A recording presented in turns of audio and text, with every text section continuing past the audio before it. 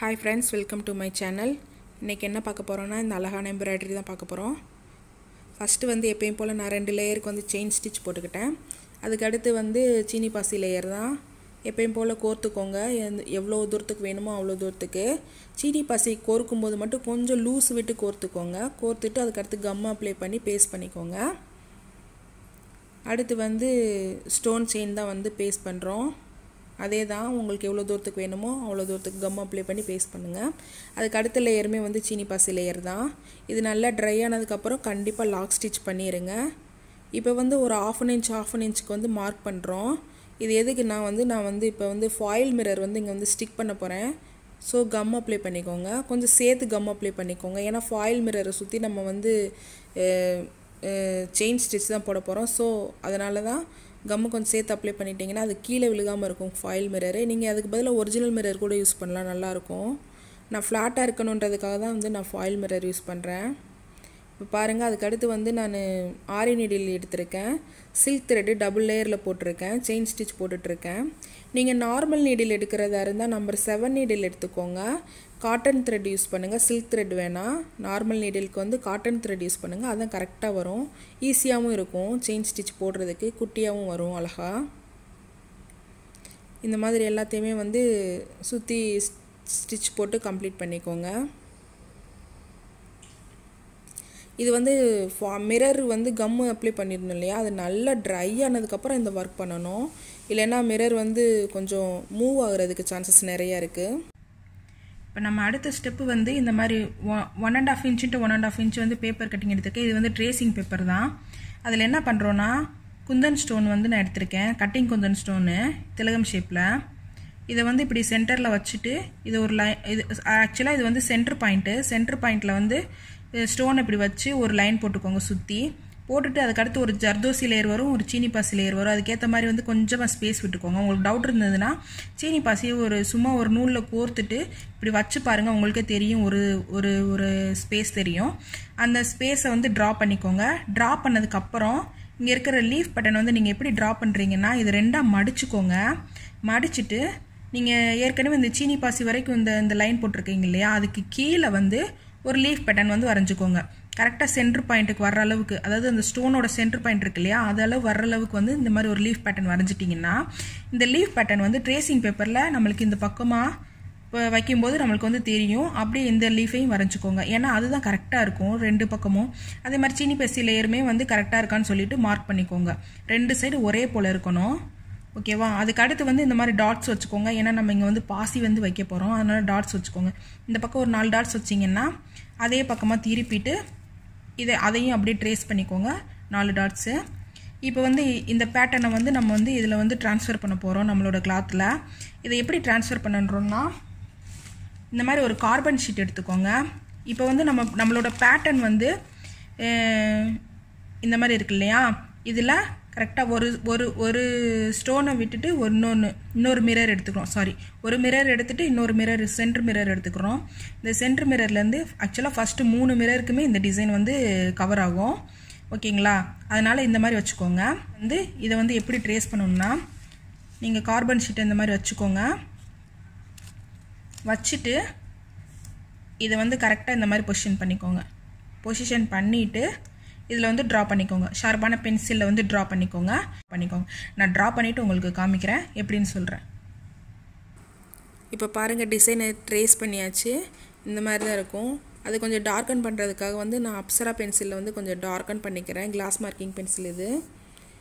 அதுக்கு அடுத்து come apply பண்ணிவிட்டு குந்தன் ஸ்டோனு ஃபஸ்ட்டே சொல்லியிருந்தேன் இல்லையா? அந்த கட்டிங் குந்தன் ஸ்டோன் வந்து இங்கே ஸ்டிக் பண்ணிக்கிறோம். அதுக்கு அடுத்து வந்து கீழே இருக்க அந்த லீஃப் பேட்டர்னுக்கு வந்து ஜரி த்ரெட் எடுத்திருக்கேன். ஆரி நீடியில் தான் வந்து நான் போட்டுட்ருக்கேன். செயின் ஸ்டிச் போடுறேன். அவுட்டர் லேயர் ஃபுல்லாகவே நீங்கள் நார்மல் நீடில் எடுக்கிறதா இருந்தால் ஜரி த்ரெட்டு ரொம்ப ரொம்ப சிரமமாக இருக்கும் கொஞ்சம். இந்த மாதிரி போட்டாச்சு. அதுக்கடுத்து வந்து நான் இதை வந்து ஃபில் பண்ணுறதுக்காக வந்து இந்த மாதிரி எடுத்திருக்கேன். இதில் வந்து நான் எட்டு த்ரெட்டு வர மாதிரி எடுத்திருக்கேன். எயிட்டு நீங்கள் ஃபோர் பை ஃபோரு கூட எடுத்துக்கலாம். ஃபோர் பை ஃபோர் எயிட்டு கூட எடுத்துக்கலாம். நான் நம்பர் செவன் நீடில் எடுத்திருக்கேன். இது வந்து கொஞ்சம் ஃப்ளாட்டாக இருக்கும். நான் போடுற ஸ்டிச்சு உங்களுக்கு கொஞ்சம் எம்போஸ்டாக வேணும் அப்படின்னா சின்னதாக வந்து நீங்கள் பைப்பிங் த்ரெட்டை வந்து கட் பண்ணி பேஸ்ட் பண்ணிவிட்டு அதுக்கு அடுத்து தைக்கலாம். அப்படி இல்லைன்னா ஜர்தோசி இருக்கு இல்லையா? ஜர்தோசி வந்து சின்னதாக அதாவது அந்த லீஃப் அளவுக்கு வந்து கொஞ்சம் கட் பண்ணி ஃபஸ்ட்டு ஸ்டிச் பண்ணிவிட்டு அதுக்கு அடுத்து வந்து இந்த மாதிரி த்ரெட்டை வந்து இந்த லாஸ்ட்டுக்கும் அந்த லாஸ்ட்டுக்கும் வந்து நீங்கள் ஸ்டிச் பண்ணலாம். கரெக்டாக இருக்கும். கொஞ்சம் எம்போஸ்டாக இருக்கும். பார்க்குறதுக்கு நல்லா தான் இருக்கும். பட் eh, நான் வந்து இந்த இந்த ஸ்டைலில் வந்து நான் யூஸ் பண்ணுறேன் சில்க் த்ரெட் யூஸ் பண்ணும்போது சிக்கு விழுகாமல் மட்டும் யூஸ் பண்ணுங்கள் கரெக்டாக வரும். ஒன்ஸ் சிக்கு விழுக ஆரம்பிச்சிச்சுன்னா அது ரொம்ப கஷ்டமாக இருக்கும் தைக்கிறதுக்கு. அதே மாதிரி இன்னொரு டிப்ஸ் என்னென்னா நீங்கள் சில்க் த்ரெட்டு வச்சு யூஸ் பண்ணும்போது ஃபேனுக்கு பக்கத்தில் இருந்து நீங்கள் தைக்காதீங்க. ரொம்ப அந்த காற்றுக்கு ரொம்ப சிக்கு விழுந்துகிட்டே தான் இருக்கும். இது என்னோட அனுபவத்தில் சொல்கிறேன் நான். நான் நிறைய டைம் அந்த மாதிரி ஃபீல் ஆகியிருக்கேன்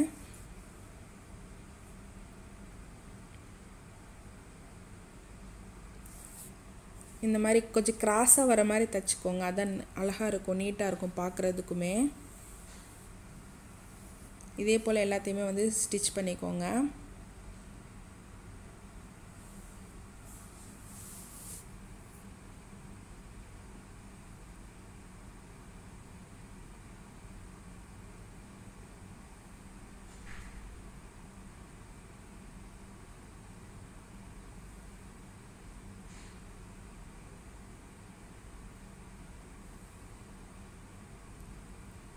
பாருங்கள் கம்ப்ளீட் ஆகிட்டு இப்போ அடுத்து வந்து நம்ம அந்த குந்தன் ஸ்டோன் ஒட்டியிருந்தோம் இல்லையா? அதை சுற்றி வந்து நம்ம இப்போ ஜர்தோசி லேயர் தான் வந்து கொடுக்க போகிறோம் நான் ஃபஸ்ட்டே மெஷர் பண்ணி கட் பண்ணி எடுத்து வச்சுக்கிட்டேன் ஜர்தோசியை. இப்போ அதில் வந்து நம்ம கோத்துக்க போகிறோம் நான் நம்பர் டென் நீடில் எடுத்திருக்கேன். சிங்கிள் லேயரில் வந்து த்ரெட்டு த்ரெட்டு போட்டிருக்கேன். அதான் வந்து நூல் வந்து தெரியாது ஜர்தோசி தைக்கும்போது. மோஸ்ட்லி நீங்கள் இந்த மாதிரி சிங்கிளாக போட்டுக்கோங்க ஜர்தோசிக்கு மட்டும். பாருங்கள் இப்போ லாக் ஸ்டிச் பண்ண போகிறோம்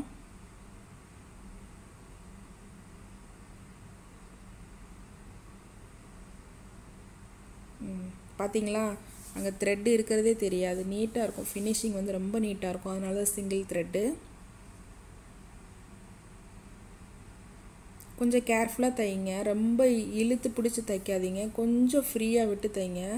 கரெக்டாக வரும்.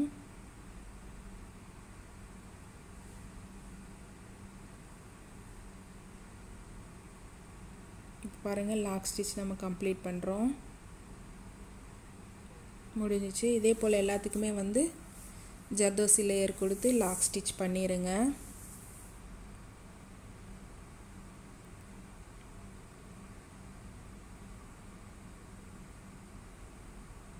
இப்போ ஃபினிஷ் பண்ணியாச்சு. இப்போ பாருங்கள் அதுக்கு அடுத்து வந்து என்ன பண்ண போகிறோன்னா இப்போ வந்து சீனி பாசி லேயர் தான் வந்து கொடுக்க போகிறோம் நான் டபுள் லேயரில் வந்து த்ரெட் எடுத்திருக்கேன். சேம் நம்பர் டென் நீடில் நான் ஃபஸ்ட்டே அளந்து வச்சு கோர்த்து வச்சுருக்கேன் சீனி பாசியை. சீனி பாசியை கொஞ்சம் லூஸாக கோத்துக்கோங்க. ரொம்ப டைட்டாக பிடிச்சி கோத்துக்காதீங்க ப்ளீஸ் இல்லைன்னா உங்களுக்கு அங்கே வந்து ரொம்ப தூக்கிட்டு தான் இருக்கும். சப்ஸ்கிரைபர் கூட கேட்டிருந்தாங்க ஃபினிஷிங் கரெக்டாக வர மாட்டேங்குது அப்படின்னு. இந்த மாதிரி கொஞ்சம் லூஸு விட்டு கோர்த்துக்கோங்க கரெக்டாக வரும். இப்போ பாருங்கள் அந்த எட் என் பொசிஷனில் வந்து திரும்ப நீடியில் கீழே விட்டு நம்ம எடுத்துடலாம். உங்களுக்கு ஒர்க்கு வந்து ஃபினிஷ் சரியாக வரலை அலைன்மெண்ட் சரியாக இல்லைன்னா ஃப்ரேமு தான் மெயினு நீங்கள் ஃப்ரேமை வந்து கரெக்டாக ஃபிக்ஸ் பண்ணிக்கோங்க. கரெக்டாக வரும் உங்களுக்கு ஒர்க்கு இப்போ பாருங்கள் எல்லாத்துக்குமே முடிச்சாச்சு. முடிச்சுட்டு அதுக்கு அடுத்து வந்து அதுக்கு அடுத்து நம்ம இந்த டாட் வச்சுருந்தோம் இல்லையா? அங்கே வந்து நம்ம என்ன டிசைன் பண்ணுறோன்னா ஒரு சீனி பாசி நம்பர் த்ரீயில் வந்து ஒரு ஆஃப் ஒயிட்டில் ஒரு பீடு மறுபடியும் ஒரு சீனி பாசி. இந்த மாதிரி ஒரு மூணு மூணு பாசியாக வந்து நம்ம வந்து கோர்த்துட்டு இந்த மாதிரி ஸ்டிச் பண்ணுறோம் நம்ம ஃபஸ்ட்டே டாட் வச்சுருக்கோம். ஸோ அதனால் வந்து நம்ம மெஷர் பண்ணிக்கணும். அந்த மாதிரியெல்லாம் எதுவும் அவசியம் இல்லை. நீங்கள் அந்த பாயிண்ட்லேயே வச்சு தைச்சிக்கலாம். ஆனால் ஈக்குவலாக ஸ்பேஸ் மட்டும் அதாவது அந்த சீனி பாசி லேயர் இருக்கு இல்லையா? அங் அங்கேருந்து இந்த பாசி தைக்கிறதுக்கு மட்டும் ஸ்பேஸ் மட்டும் ஒன்று போல் விட்டு தைச்சிக்கோங்க. கரெக்டாக வரும்.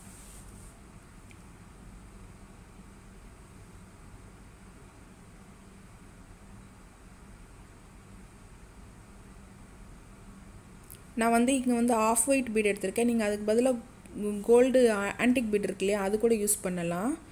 ஆனால் இது ரொம்ப நல்லா இருந்தது. அந்த பிங்க் கலருக்கு வந்து அந்த ஷேடுக்கு வந்து இந்த ஆஃப் ஒயிட் பீட் ரொம்ப சூப்பராக இருந்தது. அதனால் நான் ஆஃப் ஒயிட் பீட் வந்து யூஸ் பண்ணேன்.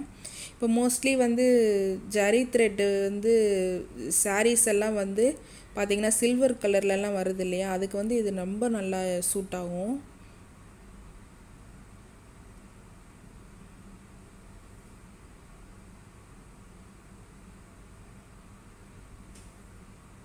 பாருங்கள் இந்த மாதிரி ஒரு போல் ஸ்பேஸ் விட்டு ஸ்டிச் பண்ணி எடுத்துக்கோங்க.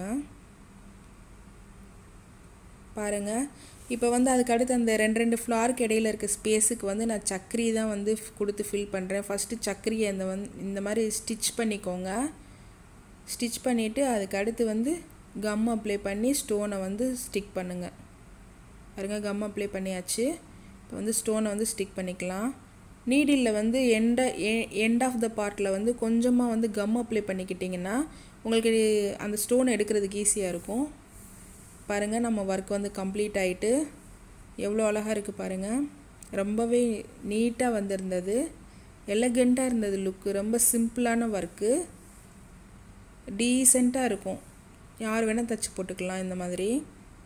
ஓகே ஃப்ரெண்ட்ஸ் இந்த வீடியோ முழுசாக பார்த்ததுக்கு ரொம்ப ரொம்ப நன்றி. இந்த வீடியோ பிடிச்சதுன்னா லைக் பண்ணுங்கள் ஷேர் பண்ணுங்கள் சப்ஸ்கிரைப் பண்ணுங்கள் பக்கத்தில் இருக்க பெல் ஐக்கானே ப்ரெஸ் பண்ணுங்கள் அதான் நான் போடுற வீடியோக்கான நோட்டிஃபிகேஷன் எல்லாமே உங்களுக்கு வரும். ஓகே இன்னொரு வீடியோவில் சந்திக்கலாம். பாய்